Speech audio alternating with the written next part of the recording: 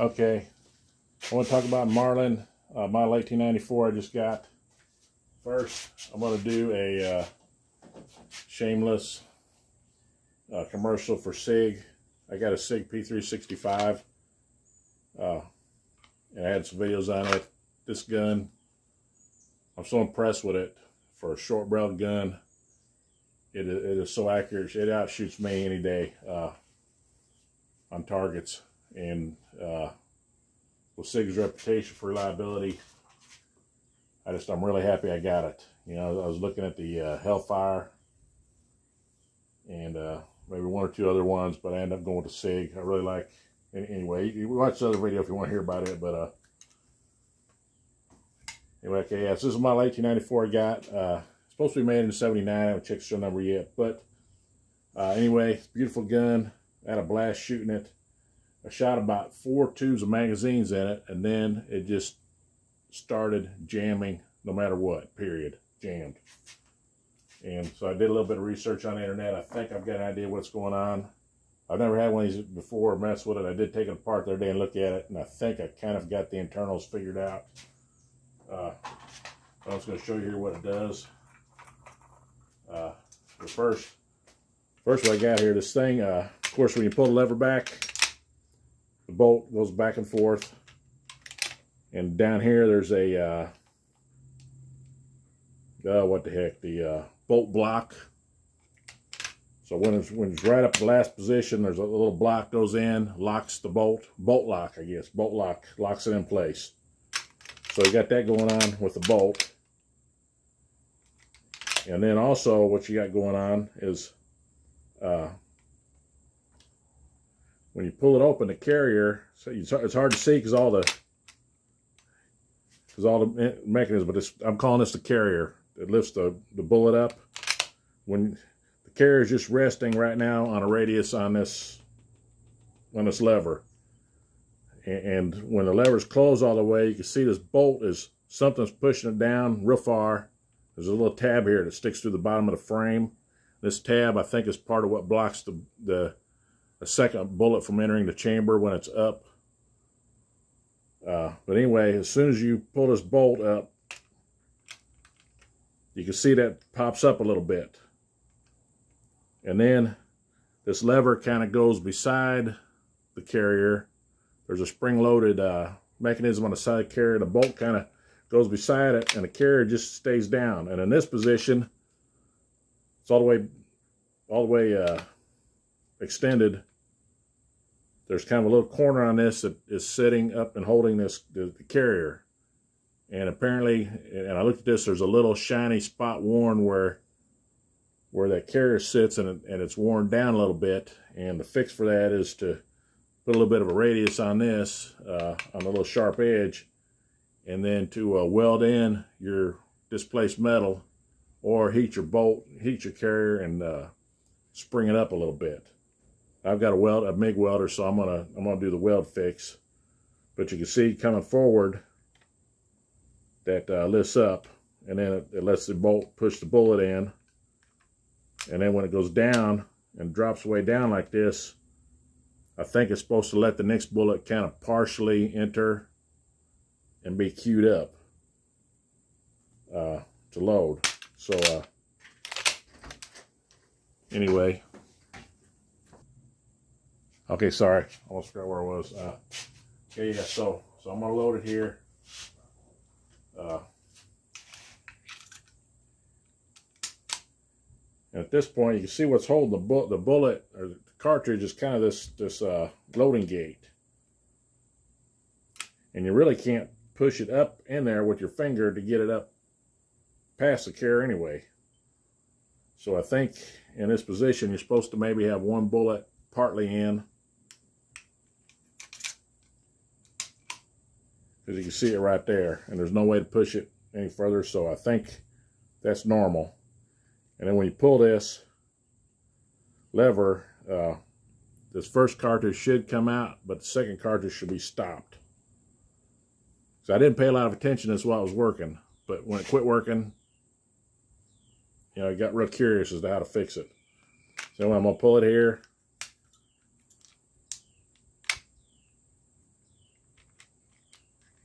Okay.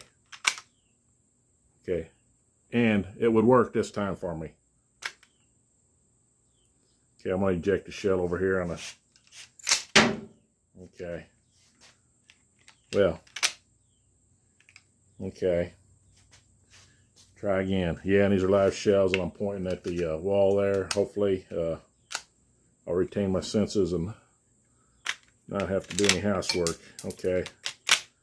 Okay, so I don't know what the heck's going on. I uh, looked at it, looked at it, fiddled with it. I didn't want to work on it until I really knew what I thought I knew I was doing. And I convinced myself, convinced myself I was going to fix it and I knew what to do. Okay, so got one in the chamber. So here we're just going to These are the shells that was jamming on me, and I tried every, three or four different shells. These are factory shells. I tried my reloads. I don't think it's got anything to do with the bullets, shape of the head, or with it being a 38 versus a 357. Because I can see it's impossible to get the bullet way up there. So from the get-go, this has to be approximately the right place for the bullet to be. Okay.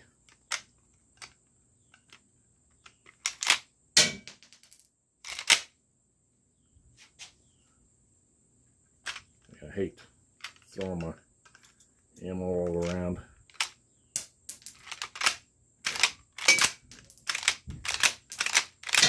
Okay, okay, so, okay, we're clear. Okay, uh, I'm still going to take it apart and work on it.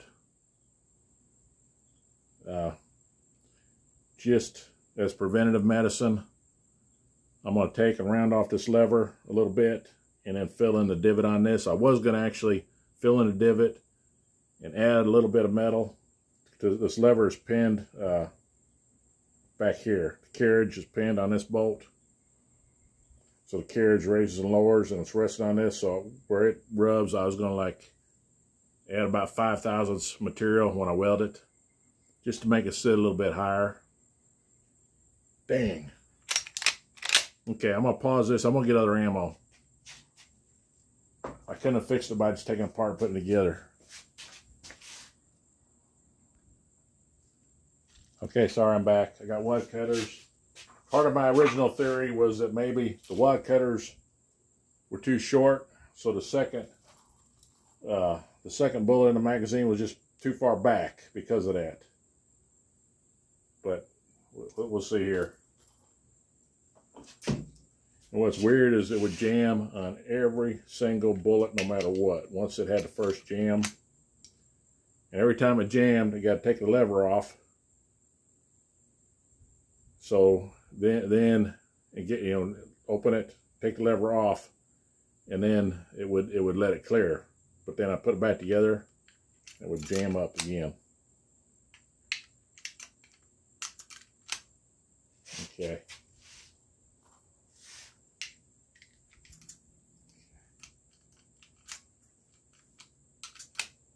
Okay. Ah, there now it's jamming. It jammed. Okay, it just jammed.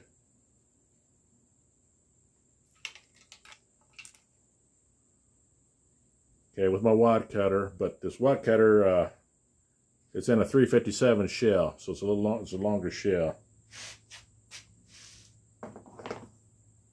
All right. Now I'm going to remove this uh, bolt here, take the lever off.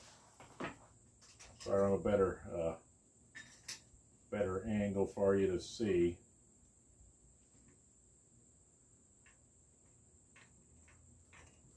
It's loaded. I got to point in a safe direction. The bolt's open. You know, the hammer's blocked by the bolt. It cannot fire. It's impossible to fire until I reassemble it.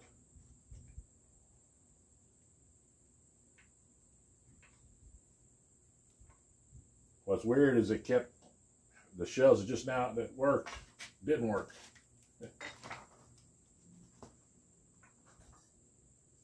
So I tapped a pin out here. Boom. It just it just released. Another shelf or uh, just kind of released here. So now there we go. The other shell just popped in.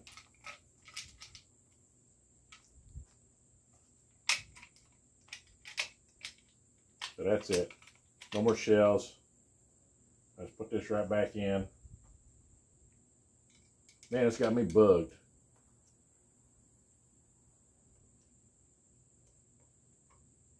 Number one, I wanted to play around and shoot this a lot for fun because uh, I guess a lot of 38s and, and revolvers to shoot. I was really looking forward to shooting it for fun. I don't want to jam up while I'm having my fun. And then also I thought that'd be a really good uh, defense gun. You know, 10 rounds of jacketed hollow point, 38 pluses would be pretty devastating from a rifle, I think. But they would still be uh, highly controllable.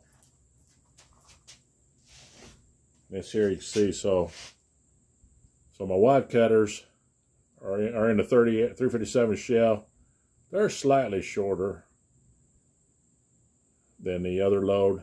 Maybe it won't take wad cutters, except these are the ones that kept jamming. Okay, so now I got it. Get back together. Start all over.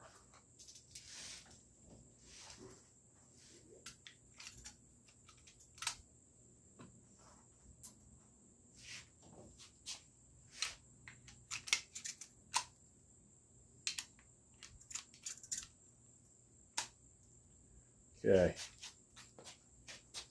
I'm just going to work it like this just to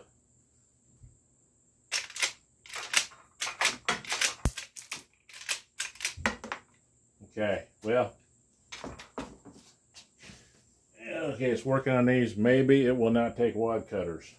That might be the problem. Part of the problem.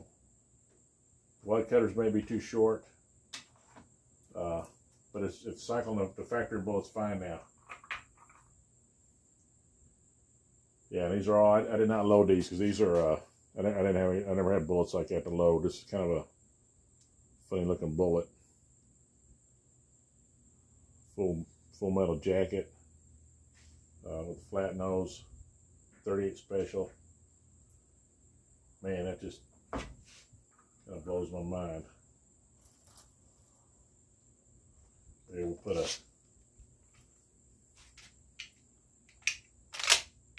thirty-eight wad cutter, excuse me, 37 wad cutter, and then a regular one.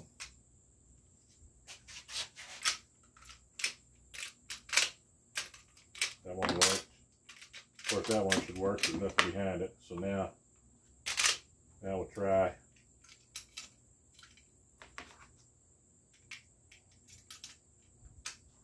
Got a full metal jacket, wad cutter, full metal jacket.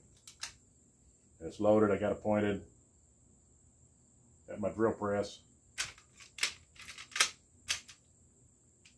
Okay, they're jammed up.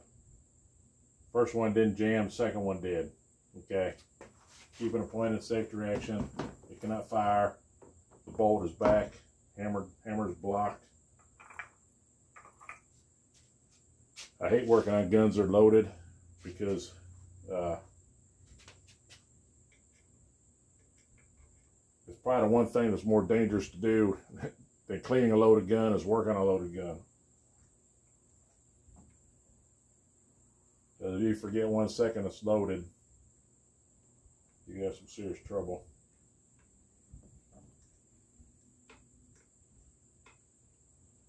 So I always keep it pointed to the wall.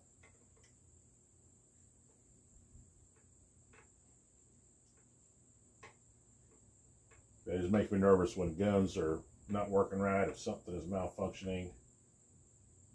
Then you get your brain engaged trying to solve the problem. You gotta always remember there, there's there's a death in that thing. Okay, pop it out. Okay. Okay, pop the pin out for the lever. And now that lets the lever kind of move down and it just lets them all kind of dump. Well, there we go.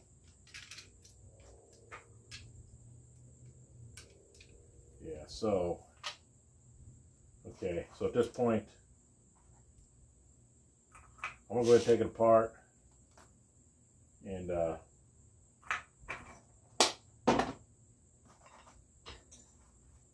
that uh, divot fixed. I'll show it to you. Okay, my bolt just fell out.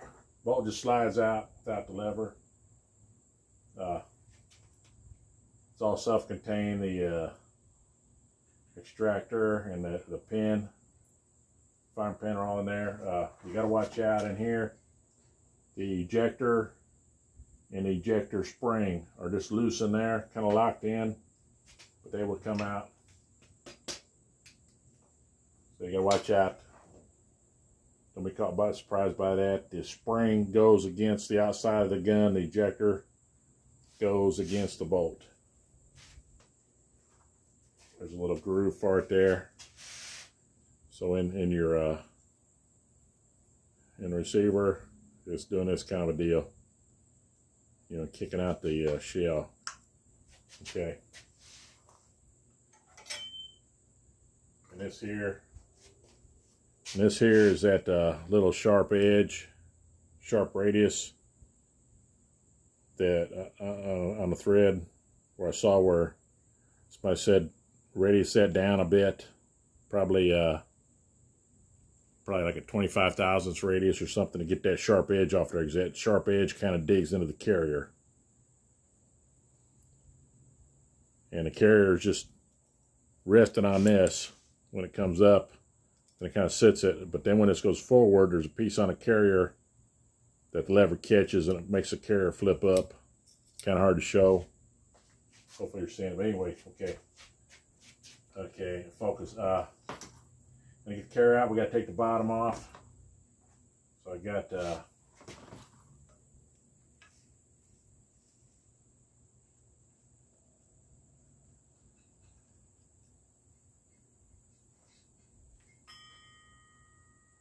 there. That holds that plate on and oh Shazam. I said it's part of their dad in. Yeah, I'm pretty sure it's this one here. There's a three. So three bolts to hold that. One, two.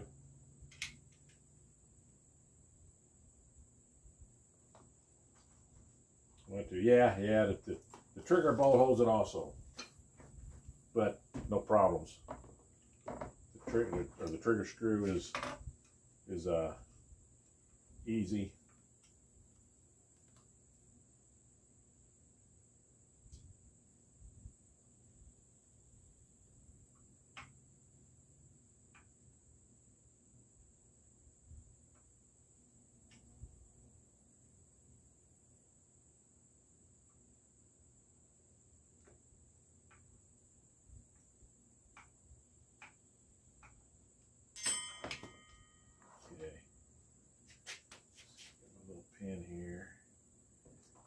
tap that. It's just kind of got the uh,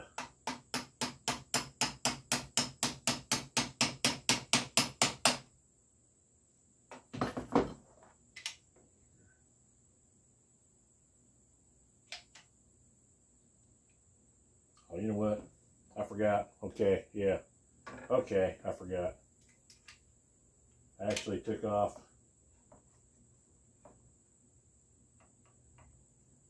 took this out Okay, this screw takes your stock off.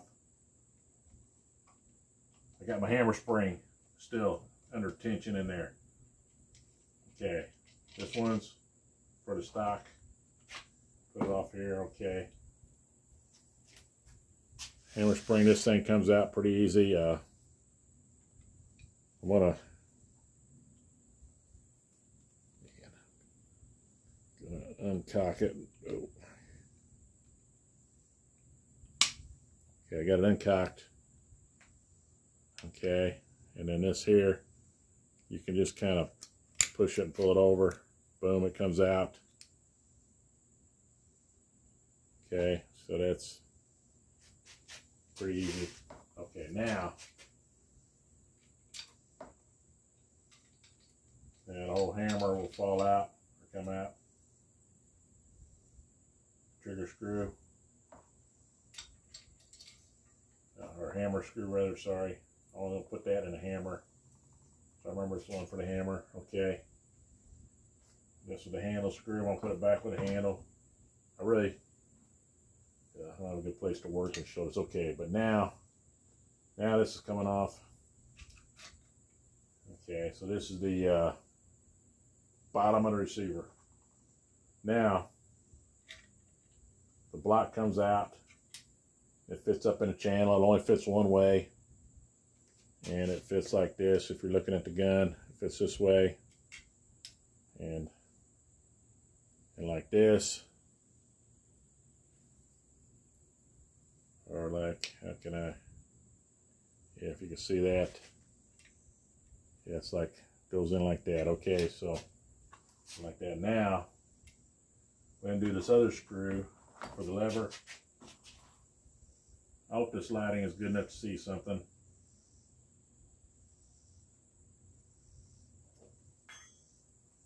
Not the most entertaining to listen to. Okay. So those screws come off, this come out. And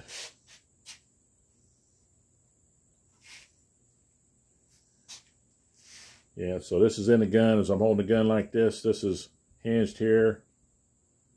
And it's sitting right here on that lever. And there's actually the little divot the guy was talking about. if You see it. Right there's a little divot. It's not big, but uh, at this point, I think I'm going to go ahead and uh, probably put a little weld. The, the other option they had was just file that out flat, heat this, and bend it a little bit. But I kind of don't want to get into heating and hammering on this thing. Uh, it's got a little spring here, and I'm not sure what you call this piece, but this piece here on this side, when you open your lever, the lever pushes this spring in and and does not lift the carrier. But then when you when you close the lever, this catches and flips it up until it drops back down. Anyway, so what I'm going to do is weld that a little bit, file it down. And I may leave it just about 10 thousandths high and see if it works. Just have a little margin. And I'm going to radius this down a little bit with some emery cloth. So I'm going to pause it while I do the actual work and then put it back together, show it to you.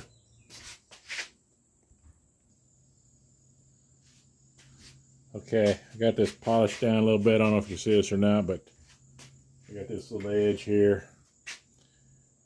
Just kind of slightly radiused and polished. I don't know if you can make it. I didn't do much. I might should do more, but I kind of took the edge off of it a little bit. I might oh, I don't know. I might do a little more. Okay, I'll be back.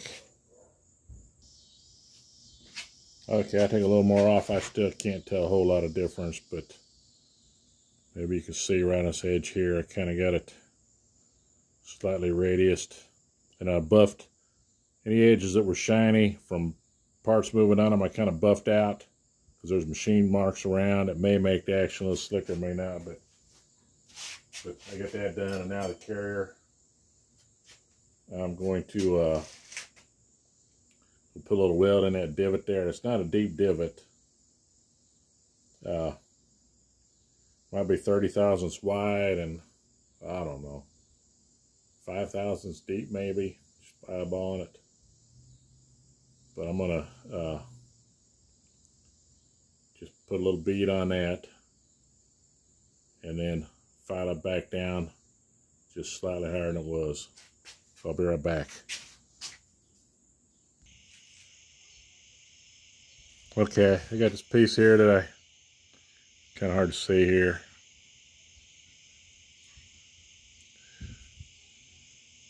But I welded in the low spot, but I, I kind of got a little grind, I filed out, I filed into it a little bit here, but I think it's not where it's touching anymore. So that little spot there won't matter, I don't think. Uh, it's getting late though. I'm gonna put this back together, but I think where it was touching was kind of this high spot here. So I got it just slightly crowned. So I'm gonna put it back together. Uh, yeah, we'll see how it does.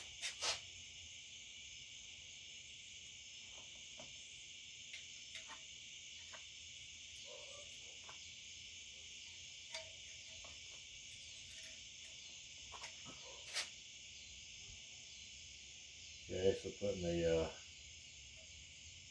elevator in. Okay, now I'm going to put the uh,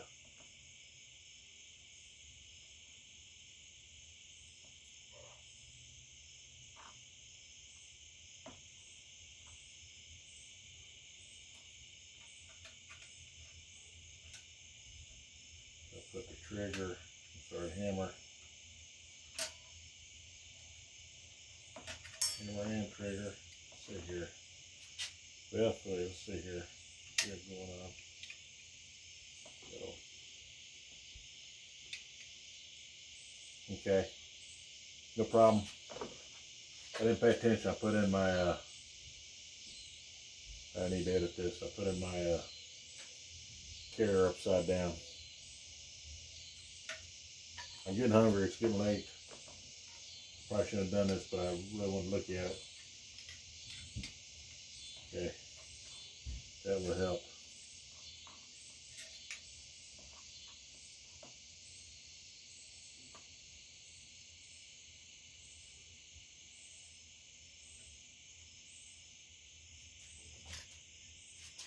Okay, now put the hammer in.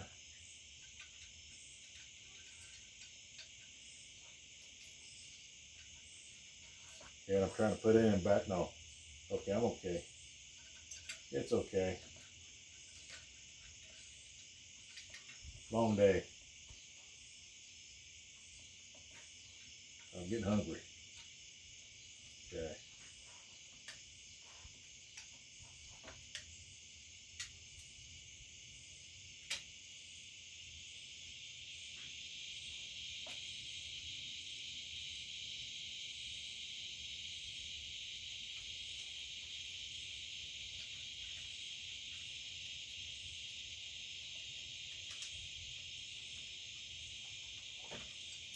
Okay. While I'm doing this, I need to put in my uh, lock. Right in front of me. Okay, so I'm gonna put in my bolt lock. There we go.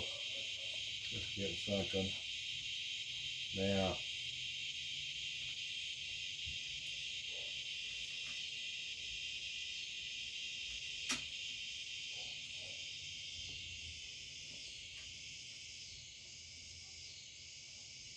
I'll pull this and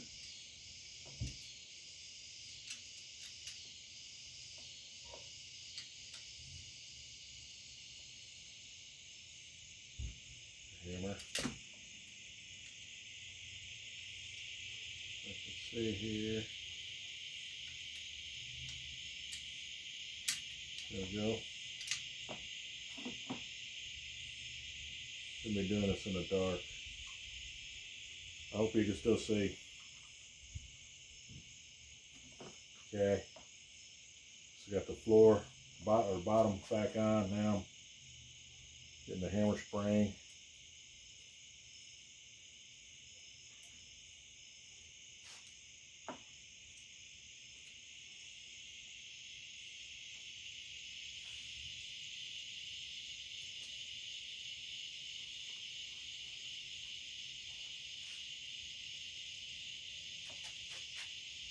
Press it.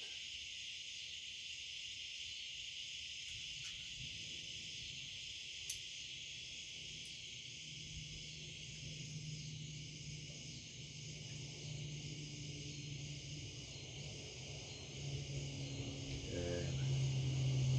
See down there, get in that slot.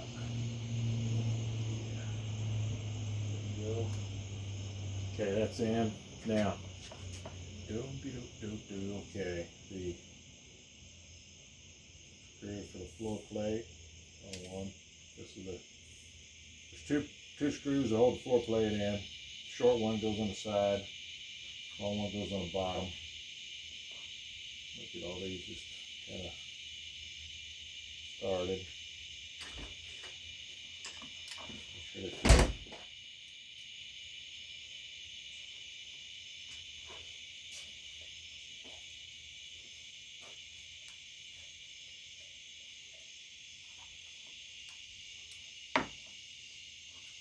One is the, uh, put the ejector and the receiver. I gotta drop it in, there's a little locating pin on the bottom of the spring.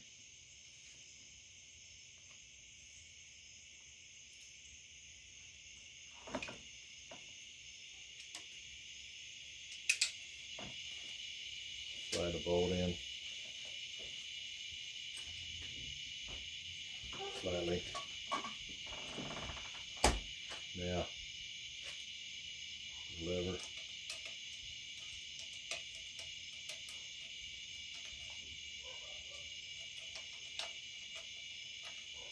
Oh, this needs to be, I think.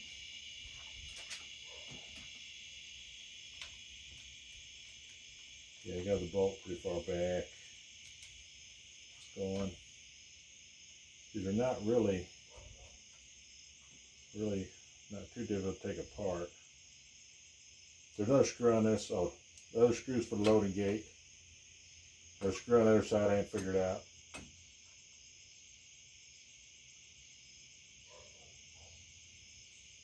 But at some point when I think I got this fixed, I'll just I'll probably use anti-seize compound on all the moving mechanisms or, or take a little bit of molybdenum disulfide grease mix with some gun oil, thicken it up a little bit and put it on everything.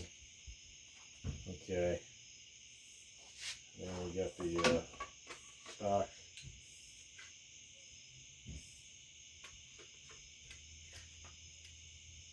Make sure I'm putting it on right. I can't, apparently can't see. Can't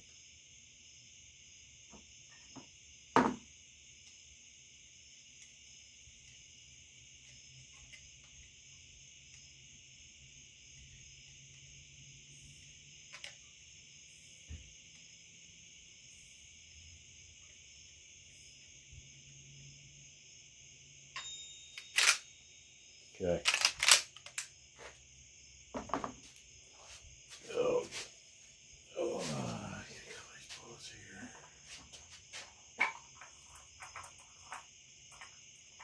Sure I mess anything up.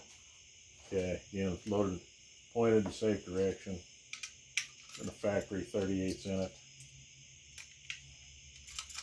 Two. Three. four. Nope. Shot back out at me.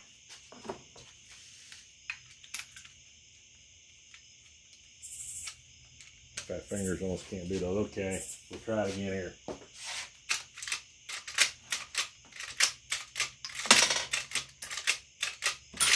Okay, I don't know. I think it's working. I didn't really learn anything from that except raising that edge should prevent it from digging into the uh, elevator. I'm sorry, the carrier. God, I'm tired of that. And I'll have to get some more, uh, I'll have to get me some uh, reloads that are not wad cutters. Uh, yeah, I don't, oh man, I think all my stuff's wad cutters. I'm gonna load up some round nose stuff for this and try it out again. Anyway, it's a beautiful gun. Uh, that's it. Taken apart, put together. Yeah, these two screws, I'm not sure what they're for, but this other pinhole here is the uh, ejector. All right. Thanks for watching.